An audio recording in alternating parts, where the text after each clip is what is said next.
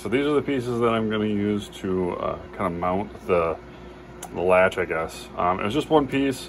I took a chop saw, cut it at an angle, um, just held it kind of there, and then I, you know, I placed this on here and marked it. Did the same for this one.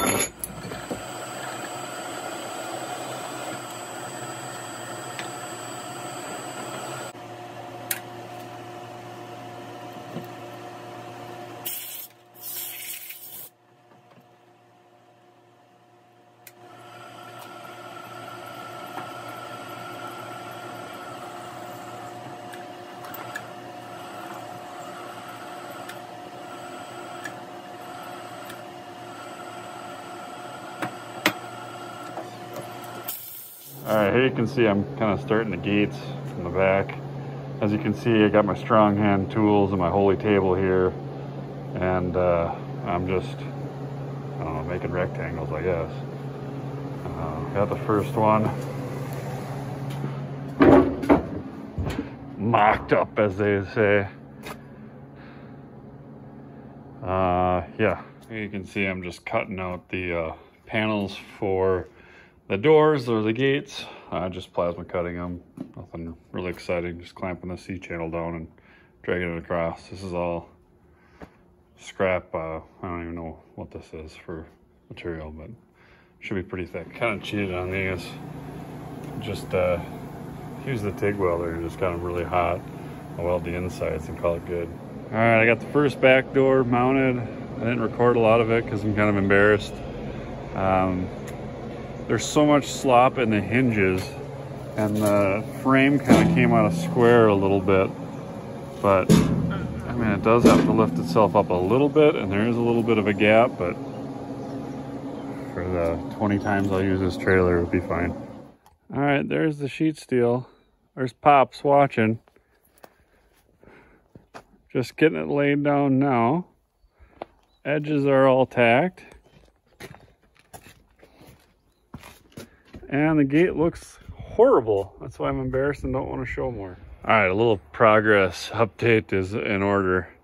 Um, I couldn't figure out what I was going to do for this toolbox and tongue. I still honestly can't. If you look over uh, there, you can see my dad bought me one from Horrible Freight. Uh, my buddy gave me one from off of his rock pile. My plan was to build one but I'm getting a little short on the hours. I got all the sheet steel down and I welded all around the outside edge. I haven't welded the seam down the middle. Uh, gonna run out of wire if I do that. So I'm just trying to keep myself going. Other than that, I think I got all the hydraulics kind of figured out where they're all gonna go. I just didn't run them. I thought it would look better if I painted it and then put them all on. I really think I'm going to regret that because it's going to involve um, climbing underneath there, but I'm going to have to get all that.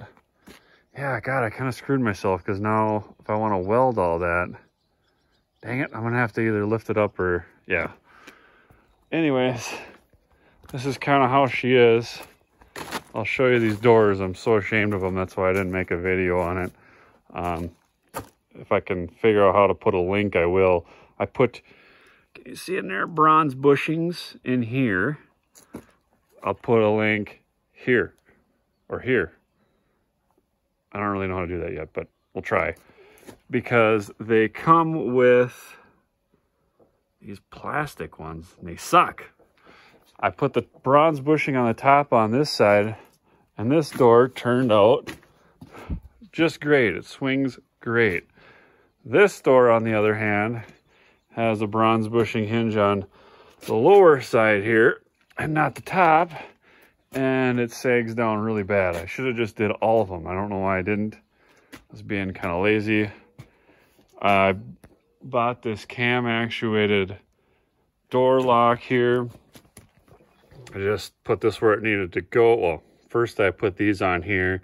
I drilled and tapped and uh, hopefully I made a video of that. And then I did the same thing up here. Um, I had these little pieces of pipe, so I welded them on so the handle can't go anywhere. And then I set the handle where it needed to be. Uh, I just extended the sheet metal on the back side a little bit farther and put a stop there that holds the latch. Turned out really good. Part of me is thinking I should have not bought that and just try to figure out my own because I think the doors would have turned out better, but whatever. Anyways, lots more welding. Apparently welding, lots of welding goes into these trailers. All right, finally getting back to this tongue. I've skipped a lot, I know, um, but that's life. I plasma cut uh, this C-channel that I had that I talked about. I didn't know where to put the jack, so I finally just went about where it was. Uh, I'm gonna cut the angle iron off, get it mounted, put this toolbox basically as far forward as I can. And if I hate it, I'll just put something else on there later and uh, probably weld that hole shut while I'm at it. But uh, yeah, that's progress. Uh, here you can see what I did for my uh, safety chains. Uh, nothing special. Just a scrap piece of the half by two and uh, I drilled a half inch hole in there and bolt the chain on if you ever need to replace it. I noticed uh, while making the video here that one is a grade 8 bolt and the other one's a stainless steel. So years down the road, I'll let you know which one works out better. These are gonna be the long pieces for the sides of the trailer. You can just see me cutting them off. Can't remember these are 20 or 24 uh, chunks, but it works great because I can cut one side. Um, since I got enough pieces, I can cut both pieces at one time so they're exactly the same, and then I'll cut these at the exact same time. Well, here you get an idea of what I'm doing. This is just a 11 16 horrible freight drill bit. Um, these are going to be the side plates for the side gates on the trailer. And uh, this is a 5 8 pin, so it's just slightly larger. I'm going to put it in there like that. And then I'll weld them on. And uh, I'll probably actually wait. Get the gates all built, mark the hole, uh, weld these on after I drill it. So, little update. You can see the sides super convenient have a nice big sh sheet metal workbench. I'm just getting it uh, set up, um, tack it together, weld it together, put it where it needs to be, and then weld on the hinges. And I'm working on this top member over here, and I wanted to put this tube on the outside of the 2x4, but then I had to put a cap on both ends, and then the sheet metal is going to be a lot more tricky. I don't know, something about the way it looks now, it's just gonna drive me crazy. See how it turns out, I guess. Figure that out. But you can see how it sticks out and how that's like much, much nicer. Um, I just drilled a hole. I can't remember what they said they're supposed to be 5 eighths or something, but they're not. They're actually metric. Uh, but this slightly oversized hole, I just marked it, drilled it, and I did that one over there thus far and it worked out Okay, here you can kind of see the side panels and how I'm going to weld the hinges on. I made this little uh, template thing of just two boards screwed together and I'll lay that wherever I want to put a hinge and then weld the lower part, tip it up and weld the top part. Uh, I think that should be good. Oh, the welder stopped welding. I have a bad feeling. I know why.